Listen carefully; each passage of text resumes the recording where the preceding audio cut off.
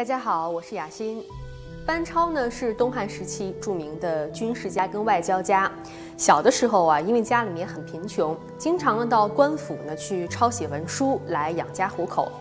有一次，抄写的一段内容让他有所感触，不禁感叹道：“堂堂三尺男儿大丈夫，应该有宏伟的志向，怎么能长期坐在这儿虚度大好时光呢？”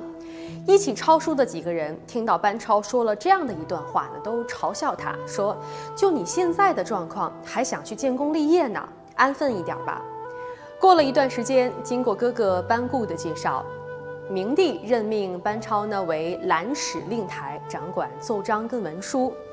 永平十六年，班超投笔从戎，击退了匈奴军，奉命率领力士三十六人前往西域，巩固了汉在西域的统治。